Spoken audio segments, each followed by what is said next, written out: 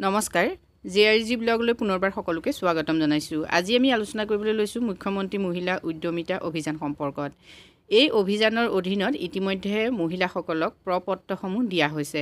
এই প্ৰ পত্ৰখন আপোনালোকে কেনেকৈ পূৰণ কৰিব লগত আপোনালোকে কি কি ডকুমেণ্টছ দিব লাগিব সেই ডকুমেণ্টছখিনি কেনেকৈ প্ৰস্তুত কৰিব সেই সম্পৰ্কত সম্পূৰ্ণ তথ্যখিনি আপোনালোকে আজি ভিডিঅ'টোৰ পৰা জানিব পাৰিব। এইখন হ'ল প্ৰপত্ৰ। প্ৰপত্ৰসমূহ যিহেতু ওঠৰ তাৰিখৰ পৰা অৰ্থাৎ যোৱাকালিৰ পৰা বিতৰণ কৰা হৈছে পঁচিছ তাৰিখলৈকে বিতৰণ কৰা হ'ব। আপোনালোক বহুতে নিশ্চয় এতিয়াও প্ৰপত্ৰ পোৱা নাই। যিসকলে প্ৰপত্ৰ পাইছে তেখেতসকলে কমেণ্ট কৰি জনালে নিশ্চয় ভাল লাগিব। এতিয়া প্ৰপত্ৰখন আপোনালোকে কেনেকৈ পূৰণ কৰিব সেই সম্পৰ্কত জানি লওক। প্ৰপত্ৰখনত প্ৰথমতে এনেকৈ থাকিব চাওক এপ্লিকেশ্যন ফৰ্ম ইয়াত আপোনালোকৰ ক্ৰমিক নং থাকিব। প্ৰথম আহিব আত্মসহায়ক গোটৰ সদস্যাৰ নাম। এতিয়া আপোনালোকৰ প্ৰথম ইয়াত আপোনালোকৰ যিটো নাম আত্মসহায়ক গোটটোত আপোনালোকে যিটো নামেৰে আত্মসহায়ক গোটটোত অন্তৰ্ভুক্ত হৈ আছে সেইটো নাম আপোনালোকে ইয়াত উল্লেখ কৰিব। তাৰপিছত আহিলে আত্মসহায়ক গোটৰ নাম। নেক্সট আহিলে আত্মসহায়ক গোটৰ এম আই এছ নম্বৰ অৰ্থাৎ যিটো আপোনালোকৰ কোড নাম্বাৰ গোট এটাৰ যিহেতু কোড নাম্বাৰ থাকে সেই কোড নাম্বাৰটো উল্লেখ কৰিব। নেক্সট আহিলে ফোন নাম্বাৰ মোবাইল নাম্বাৰ আপোনালোকৰ নম্বৰটো দিব। যিটো নম্বৰ কিন্তু আপোনালোকৰ বেংক একাউণ্টৰ লগত আছে সেই মোবাইল নম্বৰটোৱে দিব। তেতিয়া আপোনালোকৰ পিছত একো অসুবিধা নহয়। নেক্সট আহিলে জাতি। এতিয়া জাতিৰ ক্ষেত্ৰত আপোনালোকে সাধাৰণ জাতি পিছপৰা এইখিনি কেইবাটাও অপশ্যন আছে এই অপশ্যনকেইটা যিটো আপোনালোকৰ হয় সেইটো আপোনালোকে টিক মাৰ্ক কৰিব। নেক্সট আহিব আবে আবেদনকাৰী মৰাণ মটক জনগোষ্ঠীৰ অন্তৰ্ভুক্ত হয় নেকি? যদি হয় আপোনালোকে তেতিয়া হয় বুলি দিব আৰু যদি নহয় নহয় বুলি দিব। আপোনালোকে টিক দিব। নেক্সট আহিলে আবেদনকাৰী চাহ জনগোষ্ঠীৰ অন্তৰ্ভুক্ত নেকি? হয় নহয় আপোনালোকে যিটো হয় সেইটো টিক মাৰ্ক দিব। Next saving bank account number এতিয়া যিটো নম্বৰ আপোনালোকৰ গোটৰ একাউণ্টৰ লগত জড়িত সেই নম্বৰটো আপোনালোকে দিব ছেভিং একাউণ্ট নম্বৰ আৰু আপোনালোকৰ আধাৰ লিংক আছে নাই সেইটো মন কৰিব। এই নম্বৰটো দিয়াৰ ক্ষেত্ৰত আপোনালোক কিন্তু সাৱধান হ'ব। নেক্সট আহিলে বেংকৰ নাম। বেংকৰ নাম উল্লেখ কৰিব। নেক্সট শাখাৰ নাম উল্লেখ কৰিব। নেক্সট আহিলে I F S C code এতিয়া আই এফ চি কোডটো আপোনালোকে ভালকৈ ভৰাব যিহেতু আই এফ চি কোডটো ভৰাওঁতে যদি ভুল হয় তেতিয়াহ'লে আপোনালোকৰ পইচা সোমোৱাত আকৌ অসুবিধা হ'ব। নেক্সট আহিলে গাঁও আপোনালোকে গাঁৱৰ নাম উল্লেখ কৰিব। নেক্সট আহিব গাঁও পঞ্চায়ত গাঁও পৰিষদ উন্নয়ন সমিতি গাঁও উন্নয়ন পৰিষদ আৰু M A C M A C সমষ্টিৰ নাম। এইখিনি আপোনালোকে উল্লেখ কৰিব। ইয়াত কোনটো হয় আপোনালোকে উল্লেখ কৰিব। নেক্সট আহিলে উন্নয়ন খণ্ডৰ নাম। নেক্সট আহিলে জিলাৰ নাম। নেক্সট আহিলে বিধানসভা সমষ্টিৰ নাম। এতিয়া বিধানসভা সমষ্টিৰ নাম যেতিয়া আপোনালোকে উল্লেখ কৰিব তেতিয়া আপোনালোকে নতুনকৈ যি সমষ্টি পুনৰ নিৰ্ধাৰণ আয়োগৰ মতে আপোনালোক যিটো সমষ্টিত পৰিছে সেই সমষ্টিৰ নাম উল্লেখ কৰিব।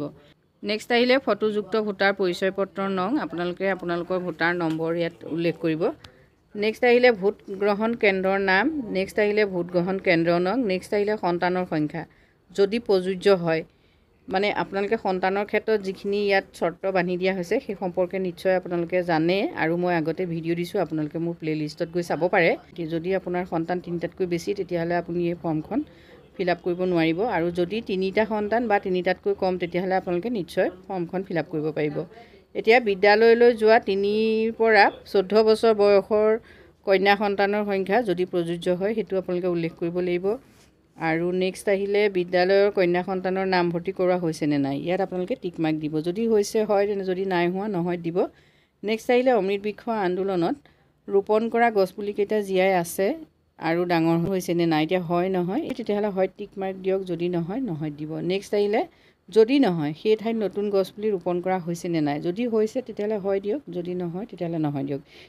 এই ফৰ্মখনত কিন্তু এটা কথা আছে চাওক। যদি গছপুলি আপোনালোকৰ মৰি গৈছে নতুনকৈ ৰোপণ কৰিছে তেতিয়াও হ'ব। গতিকে আপোনালোকে নতুন গছপুলি এটা ৰুই হ'লেও হয়তে ইয়াত হয়টোতে আপোনালোকে টিক মাৰ্ক কৰি দিব। নেক্সট আহিলে দুহেজাৰ একৈছ চনৰ আগতে লোৱা মাইক্ৰ' ফাইনেন্স ঋণৰ বাহিৰে আত্মসহায়ক গোট গ্ৰাম্য সংগঠন মণ্ডল পৰ্যায়ৰ সংগঠন বা বেংক বা আন কোনো বিত্তীয় প্ৰতিষ্ঠানৰ পৰা লোৱা যিকোনো ঋণ পৰিশোধ কৰা হোৱা নাই নেকি?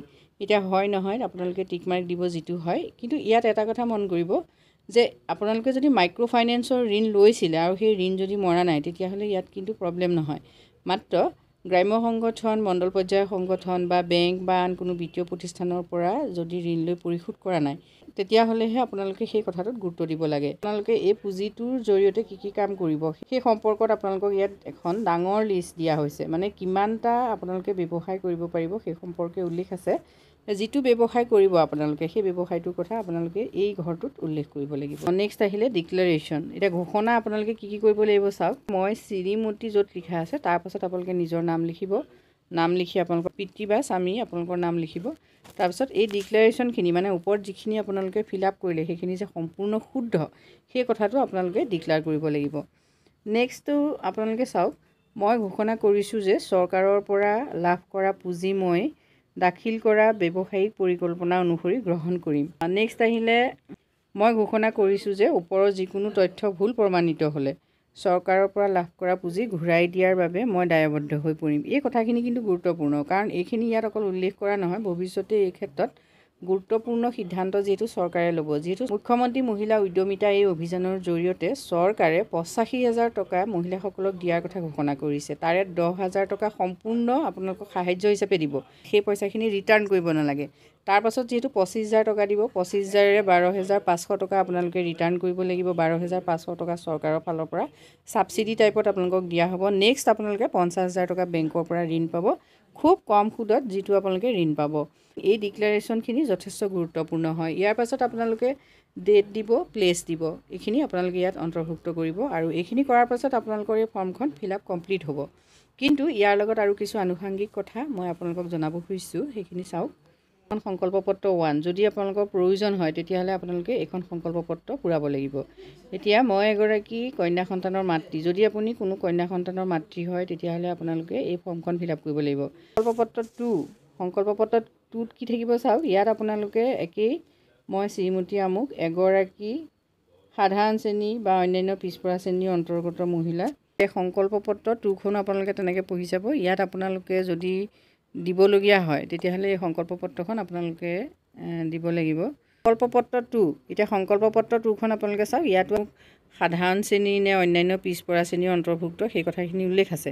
গতিকে এইখন আপোনালোকে পঢ়ি চাব। এতিয়া আপোনালোকে যি অনুদান লাভ কৰিব সেই অনুদানৰ দ্বাৰা আপোনালোকে কি কাম কৰিব সেই সম্পৰ্কটো ইয়াত আপোনালোকক আভাস দিয়া হৈছে। বিভিন্ন ইয়াত স্ক'প আছে মানে ব্যৱসায়িক কাৰ্যকলাপৰ বিভিন্ন স্ক'প আগবঢ়োৱা হৈছে যেনে ছাগলী পালন দুগ্ধজাত দ্ৰব্য সামগ্ৰী ব্যৱসায় গাহৰি পালন ঘৰুৱাভাৱে পশুপালন নেক্সট ব্ৰইলাৰ পালন বাঁহ পালন মীন পালন এটচেট্ৰা কণী পৰা কুকুৰা পালন ছাগলী প্ৰজনন পাম এৰী পালন। মুঠতে যথেষ্ট সংখ্যক ইয়াত অপশ্যন দিয়া হৈছে। আপোনালোকে যিহেতু অতি সোনকালে এই ফৰ্মখন ফিল আপ কৰি দিব নালাগে যিহেতু আপোনালোকে নাই নাইকৈ এমাহ সময় পাব। এই এমাহ সময়ত আপোনালোকে এই গোটেই যিখিনি ইয়াত দিয়া আছে এইখিনি চাওক আপোনালোকে মই দিছোঁ আপোনালোকে পঢ়ি চাব। এইখিনি চাওক ইয়াৰ এই ব্যৱসায়িক যিখিনি কাৰ্যকলাপ এই ব্যৱসায়িক কাৰ্যকলাপখিনি আপোনালোকে চাওক। আৰু চাই পেলাই ইয়াৰ ওপৰত আপোনালোকে এটা প্লেন প্ৰস্তুত কৰক মানসিকভাৱে যে আপুনি কেনেকৈ কামটো কৰিব বা কোনটো আপোনাৰ কাৰণে প্ৰয়োজনীয় কোনটো কাম আপুনি কৰিব পাৰিব ইয়াৰ পৰা আপোনালোকে চিলেক্ট কৰি ল'ব। যিহেতু আপোনালোকে চিলেক্ট কৰি পেলাই আপোনালোকৰ ফৰ্মখনত উপস্থাপন কৰিব লাগিব। ফৰ্মখনৰ সম্পৰ্কত নিশ্চয় আপোনালোকে সবিশেষ তথ্যখিনি লাভ কৰিছে। ভৱিষ্যতে এই সম্পৰ্কত যদি আৰু কিবা আলোচনা কৰিব লাগে বা আপোনালোকে জানিব লগা কিবা আছে তেতিয়া কমেণ্ট কৰি জনাব। আলোচনা কৰিবলৈ চেষ্টা কৰিম। আজিলৈ ইমানেই। ধন্যবাদ।